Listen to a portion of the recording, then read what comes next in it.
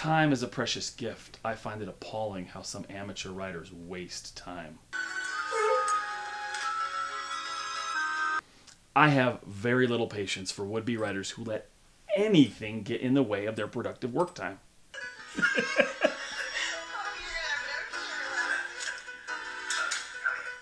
Writers, if you want it, you've got to prove it. Novels belong to the dedicated.